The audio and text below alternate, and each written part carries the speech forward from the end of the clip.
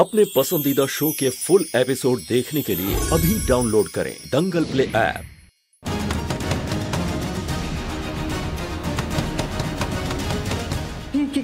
ये, तो मौली और उसका दोस्त बिहान है।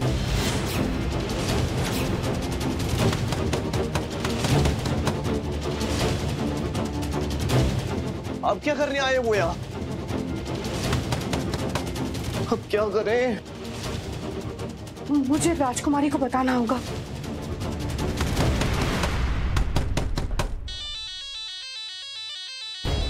गायत्री?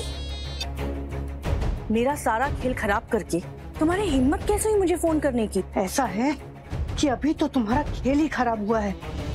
अगर मेरी बात नहीं सुनी ना तो ज़िंदगी खराब हो जाएगी तुम्हारी। कहना क्या चाहती हो तुम? तुम्हारी वो सौतेली बेटी मौली और उसका वो दोस्त बिहान हमारे होटल के कमरे तक आ गया है।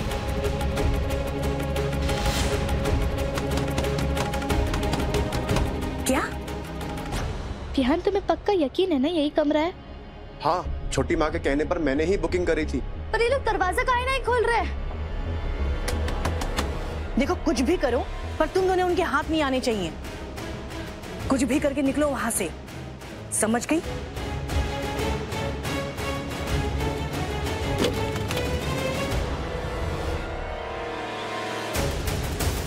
माँ अब क्या करें तो क्या करें? कुछ सोचती हूँ।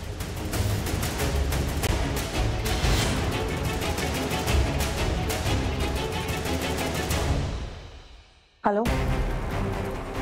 ऐसा है मैं रूम नंबर 202 से बोल रही हूँ। अगर पचास हज़ार कमाना चाहते हो अभी तो बस मेरा एक छोटा सा काम करना होगा तुम्हें। माँ हमें पूरा भरोसा है हमारी दोस्ती पर। इस रिश्ते के लिए केदार कभी मना नहीं करेगा। हम चाहते हैं कि आप भी हमारे साथ रिश्ते की बात करने चलिए। माँ जी वो वो बिहान और मौली। अरे आपका क्या बुझाओ सीधे हाथ पार कर दी है माँ जी ठाकुर साहब खुद को निर्दोष साबित करने के लिए वो दोनों गायत्री के होटल पहुँच गए हैं। और उन्हें डरा धमकाकर अपने रिश्ते के बारे में झूठ बुलवाना चाहते हैं।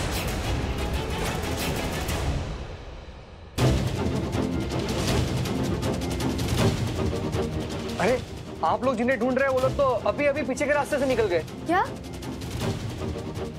मतलब ज़रूर उन्होंने हमें आते हुए देख लिया होगा। बिहार चले चलो इसके पहले वो निकल जाए।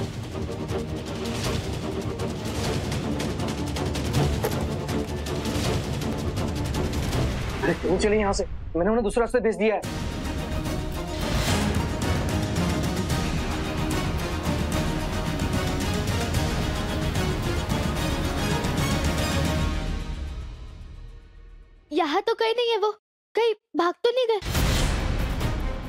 उस तरफ़ गए होंगे। चलो बिहार। मौली मौली उस मैनेजर को कैसे पता कि हम उन्हें ढूंढ रहे हैं? अब इतनी ज़ोर ज़ोर से दरवाज़ा पीटेंगे तो पता नहीं चल जाएगा कि कहाँ आए हैं। नहीं मौली हम उनसे मिलने भी आ सकते थे। लेकिन उस मैनेजर को कैसे पता कि हम उन्हें ही ढूंढ रहे हैं?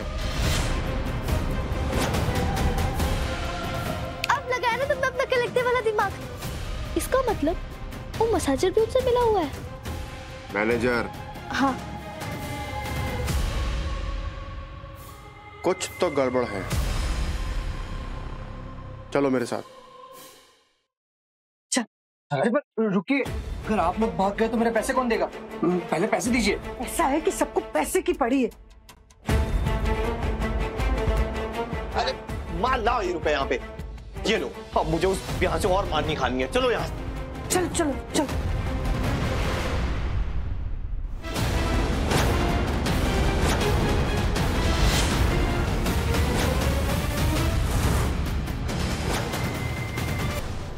जानता था मैं।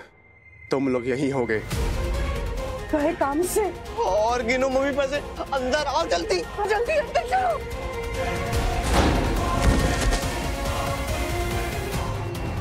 तुम तो यहाँ आओ बे।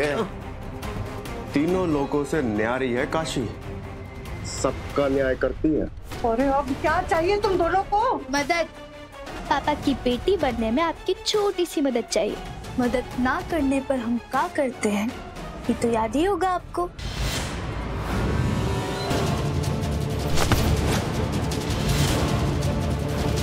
ऐसा है कि ऐसा है कि बचपन से ही हाथ उठ रहा है हमारे ऊपर। इसलिए अब दो कोस पहले से ही पता चल जाता है कि क्या पैतरा है। छोड़ो मुझे। पहले आप पूरी बात समझिए। सुनिए बचपन से जिस दोस्त ने हर मुश्किल में हमारा साथ दिया आज उसी के रिश्ते पर लांछन उठा दिया आपने। इसलिए अब चुपचाप पापा के सामने सब कुछ सच सच बोलेंगी आप समझी? समझे तुम? समझ गए समझ गए सॉल्व। जल्दी करो। अरे अरे माँ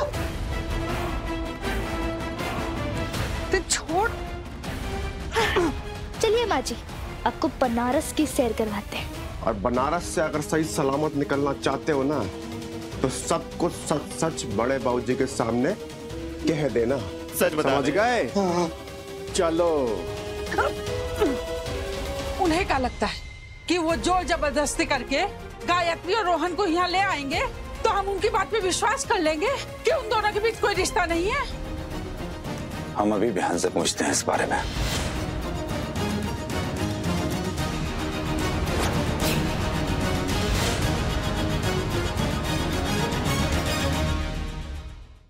साहब जो अपने रिश्ते की सच्चाई को स्वीकार नहीं कर सकते उन्हें फ़ोन करके क्या फ़ायदा? मुझे तो लगता है कि मौली की शादी हमें इस गाँव से और बिहान से कहीं बहुत दूर कर देनी चाहिए। ताकि बार बार खड़ी होने वाली समस्या जड़ से खत्म हो जाए।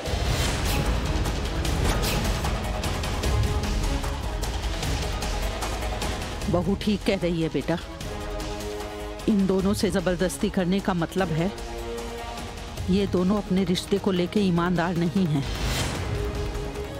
अगर दोनों साथ रहे तो ना जाने कौन से नए गुल खिलाएँगे यहाँ।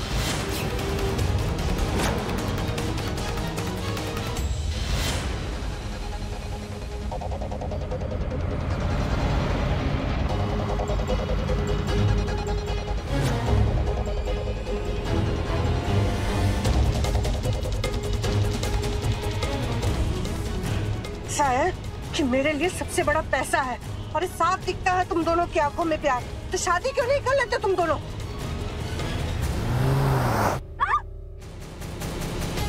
यहाँ तुम्हारी गुस्सा ना किसी दिन हमें ही मार देगा। देवी जी तुम्हारी ही देन है न तुमने वो फ़ोन तोड़ा होता न हम यहाँ फंसे होते।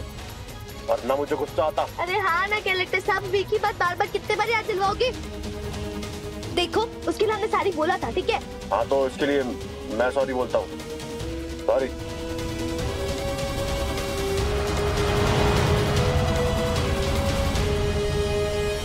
ऐसा है जब राजकुमारी की सच्चाई तुम्हारे सामने आ गई थी तब तुमने फ़ोन क्यों तोड़ा? ये बात हमारी कुछ समझ में नहीं आई। अरे माँ जी आपको सिर्फ़ एक लड़का है ना? अगर एक बेटी होती तो आप समझती कि माँ बेटी का रिश्ता कैसा होता। है अगर तुम्हें इतनी फ़िक्र है अपनी सौतेली माँ की तो उनकी सच्चाई लाने के लिए हमें क्यों घसीट रही हो अपने साथ? वो कहा है कि हमारी दोस्ती के रिश्ते पे दाग लगा है? अगर वो ना लगा होता ना तो हम छोटी माँ का नाम किसी के सामने नहीं आने देते। मौली हम लोग किसी पिकनिक पे नहीं निकले जो तुम अपने दिल की सारी बात हमें बदनाम करने वालों से कर रही हो। सारी सारी वो क्या है ना भावनाओं में बह गए। देखो हम जितने भोले दिखते हैं ना उतने खूंखार भी है। इसलिए चुपचाप बैठो जितना बोला उतना करो। सीट बेल्ट लगाओ। हाँ कलेक्टर साहब।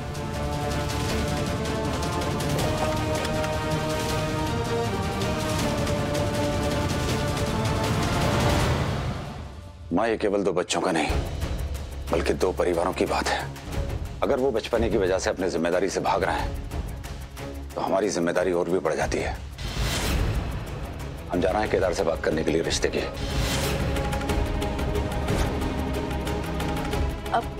ठाकुर साहब? ठाकुर साहब ये रिश्ता नहीं हो सकता। क्यों नहीं हो सकता?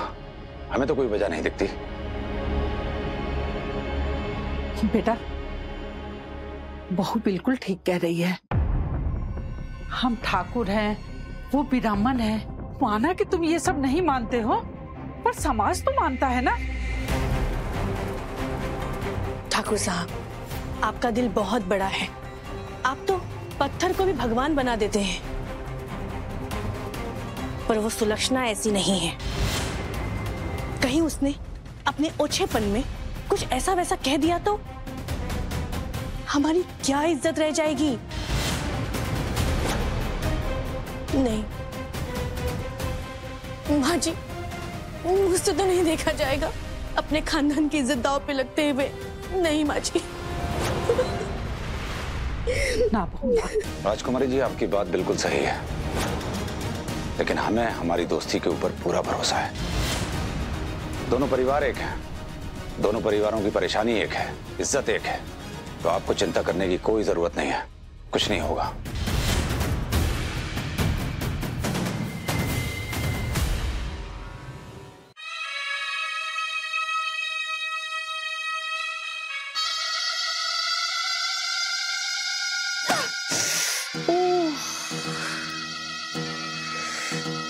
इस मौली को पैर में चुभे कांटे की तरह मैं जितना दूर फेंकना चाहती हूँ, ये उतने ही मेरे गले की फांस बनती जा रही है। अगर ये यहाँ रही तो मेरा सच कभी भी सामने आ सकता है। मुझे कुछ करना पड़ेगा।